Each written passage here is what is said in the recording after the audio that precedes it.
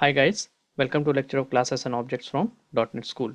Now in this lecture I will explain you all about classes, objects, constructors and this keyword.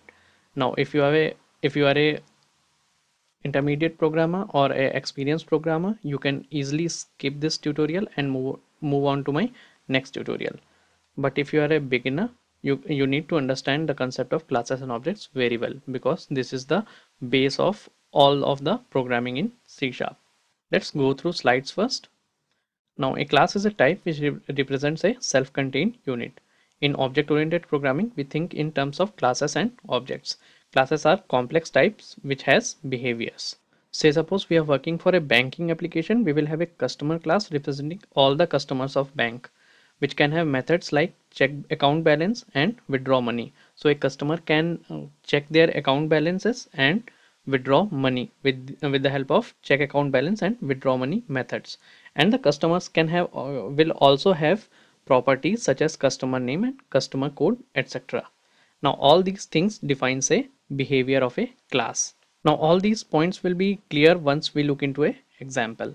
So let's move to visual studio. And here i have a predefined class called as program which is defined by uh, .NET framework. And now uh, I have a static method main method which is the entry point of my application. So whatever class I will define that will be implemented through main method. So let's define a class first. And let's rename this class as batsman class. And this class will represent all the batsmen those uh, play cricket the reason why i'm using cricket as an example and batsman as an example is because uh, you can easily relate it to in your daily life. So this class batsman will represent all the batsmen those uh, those all play cricket. Now this batsman will obvious have some behaviors. So we define this with the help of methods. Now i can have a method say play straight drive and I need to define the body of the method. And let's write the console, uh, console dot write line. That means a pseudo implementation of this method.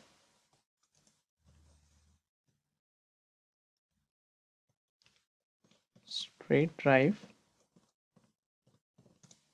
has been played.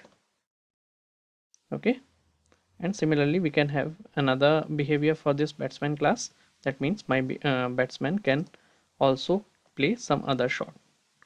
Say play. Square drive.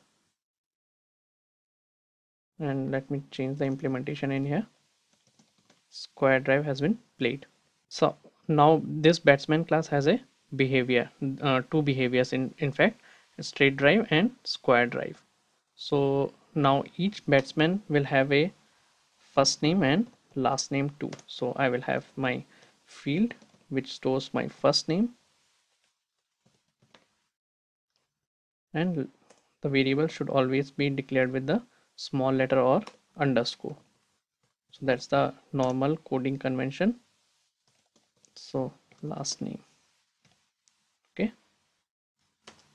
so now my batsman class has a string first name last name uh, which represent the name of batsman and two methods which defines the behavior of this batsman. That means my batsman can play straight drive and my batsman can play square drive also. Now how can i make use of this class in my application? By making object of this class.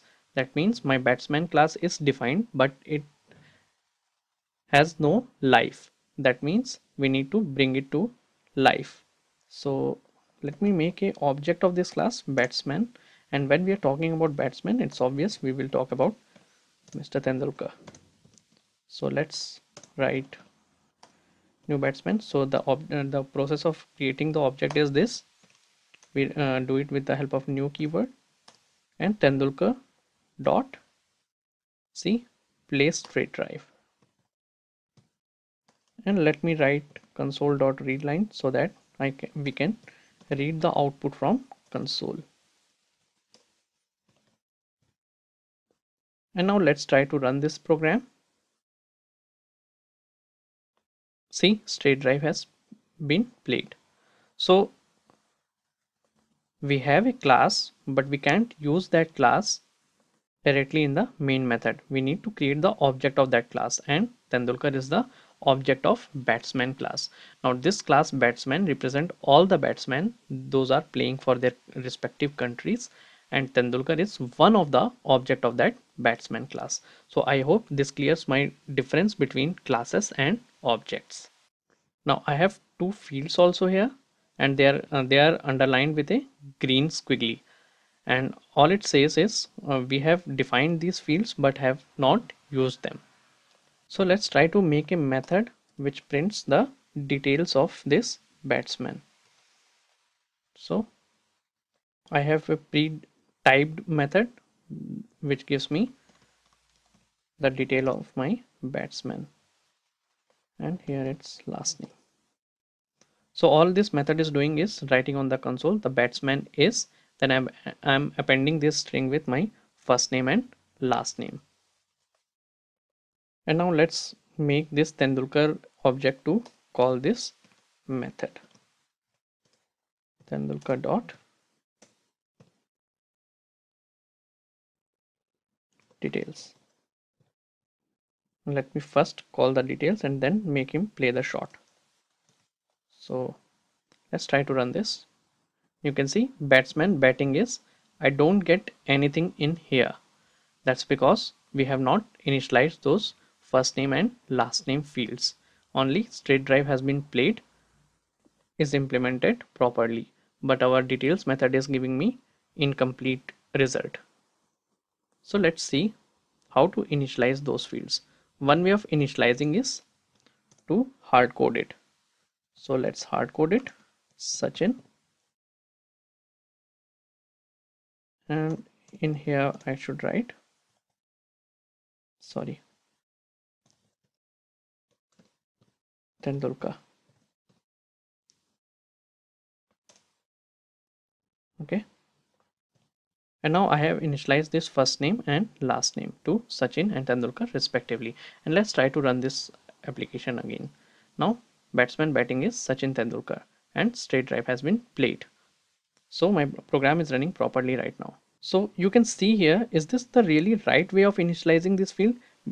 Of course, it's right to initialize this field here, but this class batsman represent the all of the batsmen in the world. It does not represent Sachin Tendulkar alone. That means if you define a class, say batsman, you cannot restrict it to a single batsman you cannot hard code it here Sachin and Tendulkar you should be initializing it uh, this field some other way at runtime so let me remove this hard coding.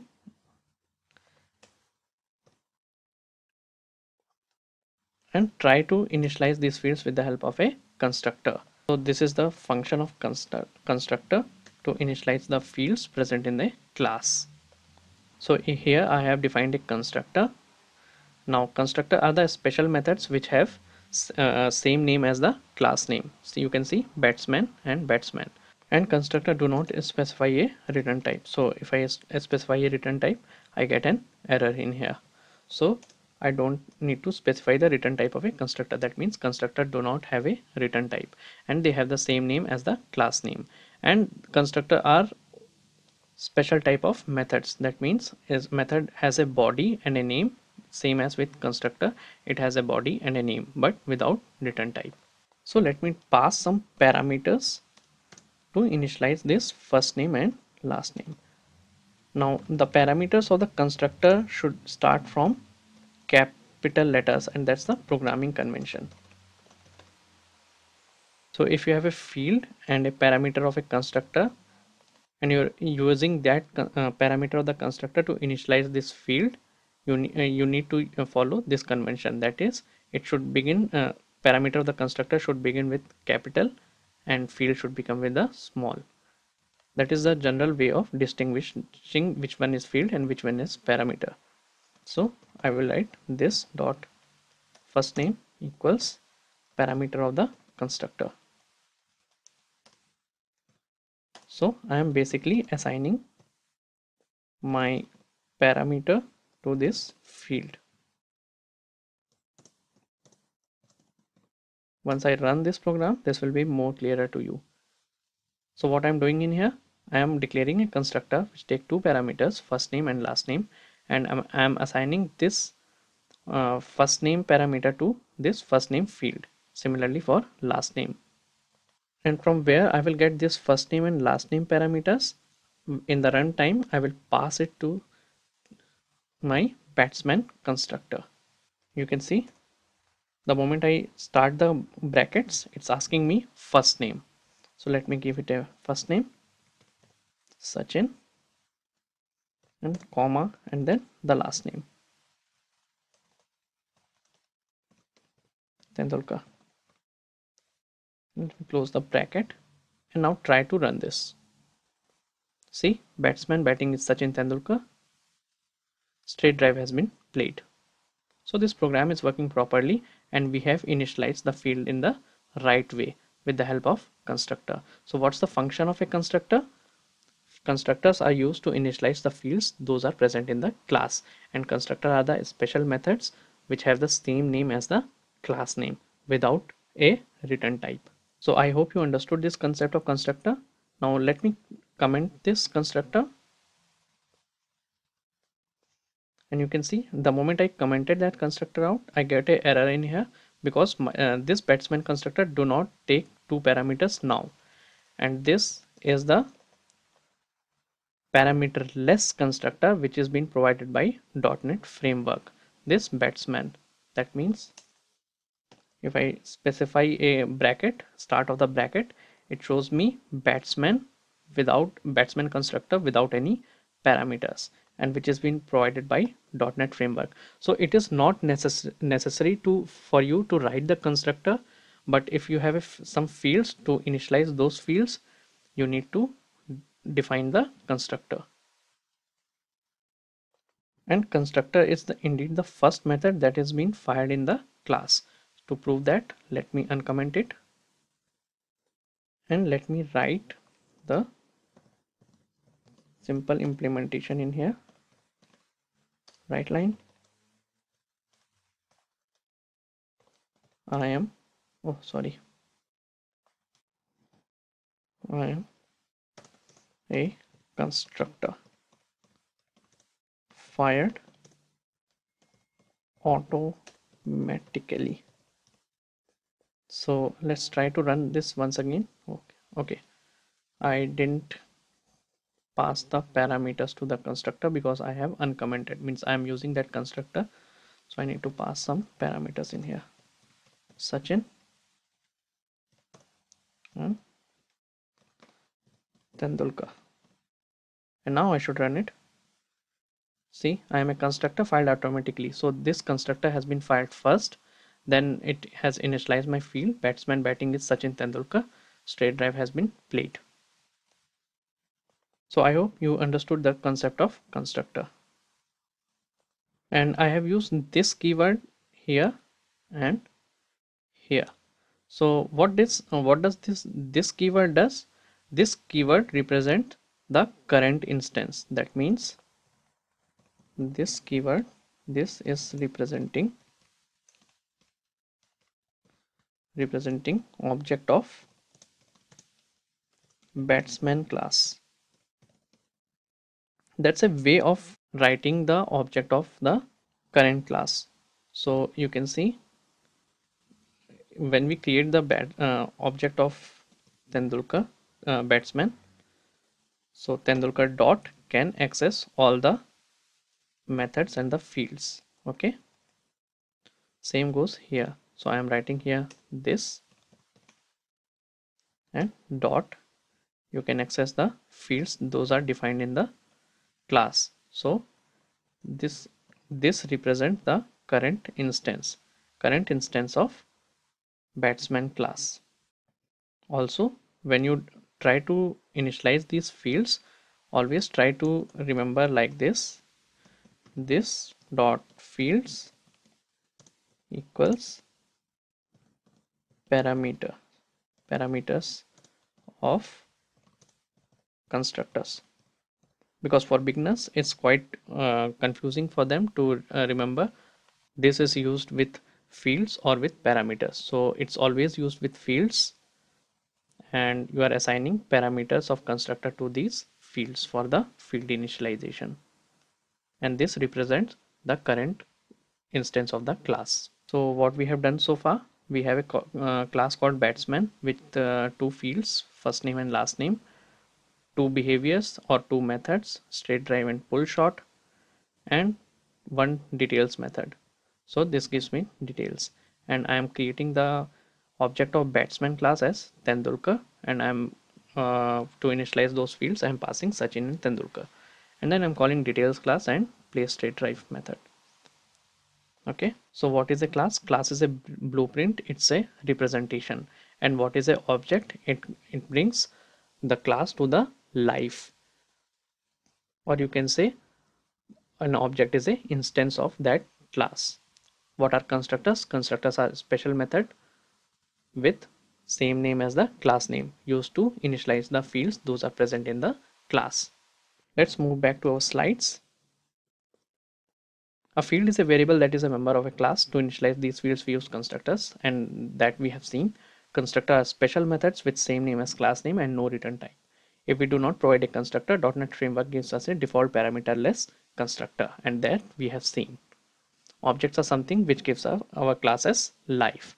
Objects are instances of classes. This keyword represents object of current class. All these points we have seen in our example. This is our first slide. This is our second slide. So that's it guys. Thank you for listening this concept of classes and objects. I hope you understood it. If you have any doubts, please leave a comment. I will try to answer that as soon as possible. Happy learning and thank you so very much. And before you go, please subscribe to my channel for interview preparation in C Sharp, WPF, WCF, SQL, Entity Framework, MVVM, design patterns, etc. For personal online training on C Sharp and WPF and for other queries, please contact DotNetSkoool at gmail.com.